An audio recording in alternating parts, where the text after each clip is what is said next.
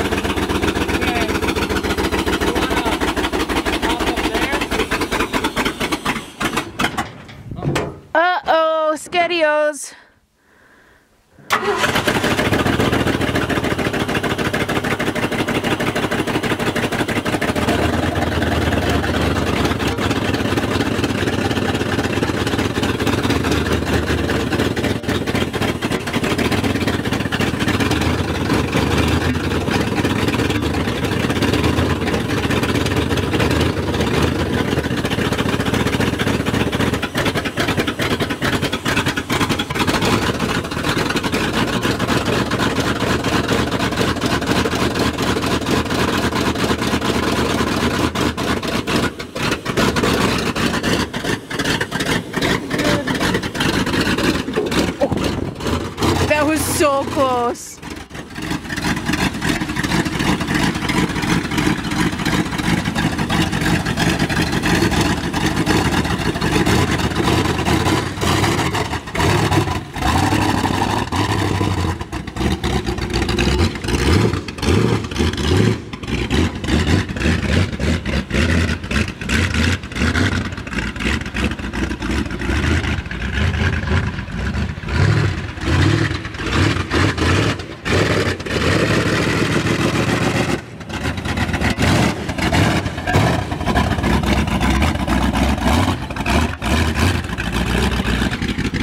Like said, there's no brakes. I think he's just waiting for it to stop.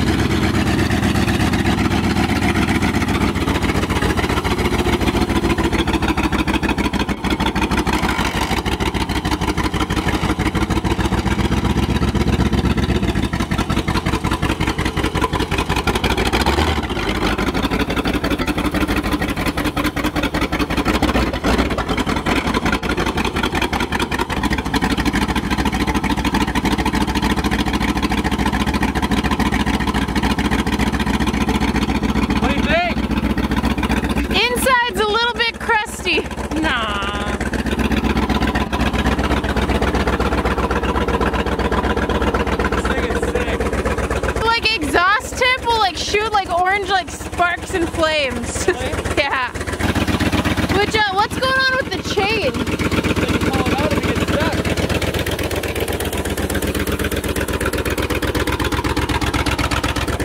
You wanna ride? No, No? not yet. Scary?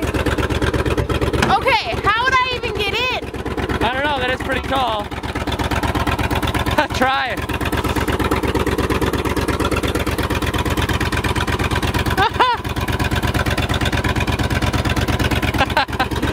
yeah.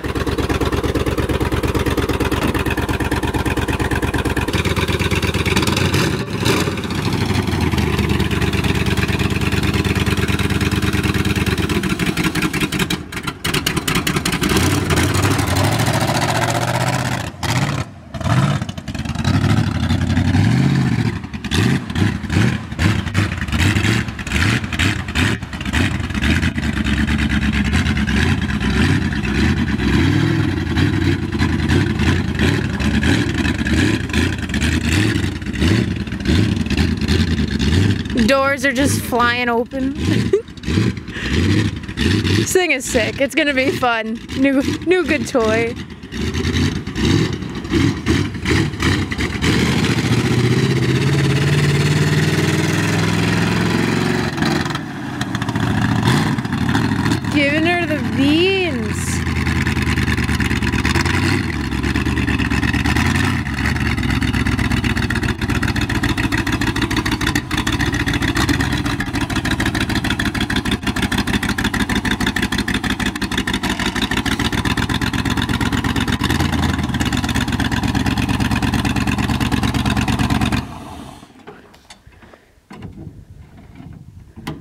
Kind of scary.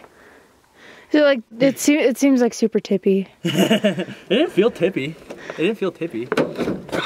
Why is it so gotta out scary? the gears. So it's an automatic, but you gotta like push this up and down to get into the gears. And here's the kicker. There's no brakes at all. I need to put a new brake line on this passenger side here. So there is zero brakes when I'm trying. So I have to try to slip it into neutral, and it's pretty hard to kind of get it into it. So it's like when I want to stop, I need to try to get into neutral. So it's like I was trying really hard not to drive anywhere towards, well, anything, so I don't hit anything. Um, so I definitely need to get those brake lines, that brake line over here fixed right away. I can show you guys actually. It's not like any lines on the rail. It's just this little guy. This guy needs to be extended up to here. Um, and I guess Mikey already told you guys, but it's got a 390 in it. And this is a three quarter ton 1975 chassis with uh, Jeep Willys. I think this I think this is a 50s style, 50s or 60s Jeep Willys cab on it. So it's a it's a monster. It's got 52 inch tires, 52 inch tractor tires. Um, Tires are know. small, I think. I think you need to get bigger ones. Sherp tires on it. Oh, that'd, be sick. It. yeah. So. oh, careful, people call you WhistlinDiesel. Oh yeah. Well, this is gonna be the new plaything. So let me know what you guys want to see me do with it, because this is uh not gonna be nice. This is gonna strictly be a play toy, make content for you guys. So let me know what you guys want to see me do with it. I know what I want to see. What? I want to see a Christmas wreath right there for the holiday season. Right here. Yeah, I think it'd be a nice little touch. That would be pretty sick. Could do that. First thing you'll do with it, and then whatever the subscribers want, then you can do that. Wife, wife gets what she wants first. That's fair. That's fair. But yeah, I just kind of wanted to show you guys this truck. I guess you can see the interior too. It's getting dark here. The doors need latches. Also, it needs a front axle shaft. What it needs is a Dana 60 swap. It's a pretty small axle for these big tires, but uh, it needs a front. I think the passenger side, yeah, front Well- passenger side axle shaft. This thing, what is that? Well, the let drive? finish Let me. No, wait. The drive shaft. That's Yeah. what that big one is, right? Yeah, yeah. It gets a little. It looks a little crunchy. Crunchy. What do you? It looks like crunchy when it goes in circles, oh, and like when it's spinning? turning. Yeah, Oh, maybe it's in four. It shouldn't be in four. it was. It was spinning, and it looked like it Oh. was just like. Oh, that shouldn't be. Like it looked like it was very crunchy. Is this locker locked in? So we got three wheel drive because this is the passenger side that broke. Oh, this should be phone free. Oh, it might not have been clicked over all the way. It sh that shouldn't be spinning, but yeah, Yeah. it's the new fun toy. Definitely needs a little bit of work, but she rips in two-wheel drive and gonna have some fun with Is it. that the battery hooks up in the back? Yeah. It's a nice There's touch. not much room up front, and I can mount. I can mount it pretty good back here. Also, oh yeah, look at the fuel tank. It's Here. just a little. So this truck was only built for a 60 second mud run. You know, it wasn't built for doing anything more than that. So it's just a little, just a little five gallon tank in the back for gas. So I wouldn't mind mounting a bigger fuel cell back here, and then getting a bigger battery back here, obviously, and getting a bigger, like actually mount the battery down in here. Um, Huh? A seat with a seatbelt.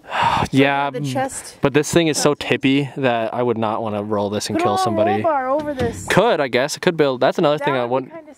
This is something that actually would be worth building a roll bar for because the odds of us tipping this is probably pretty great.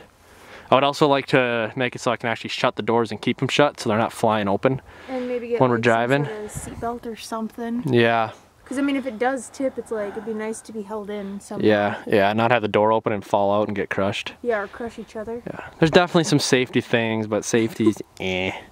For you, not for me. I, I wouldn't tip it when you're riding it. I never do stupid stuff when you're riding. I know, and even then, I still get like, eh, I need to slow down. This has been Cullen here at Up North Outdoors. Hope you guys enjoyed this video. God bless, and I will see you guys in the next one. Really bad idea.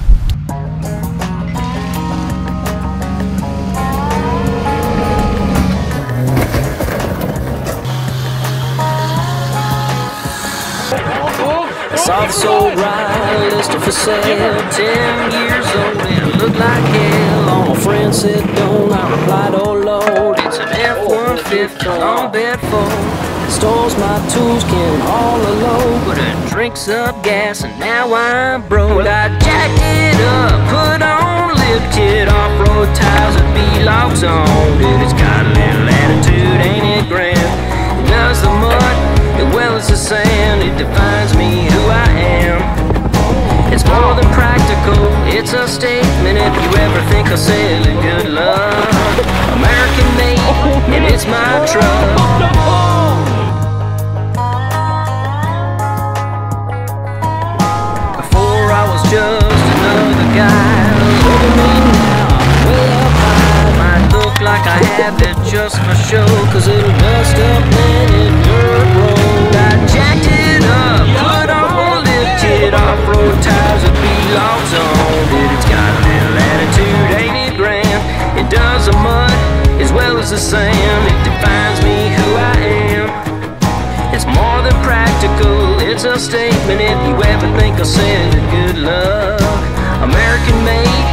It's my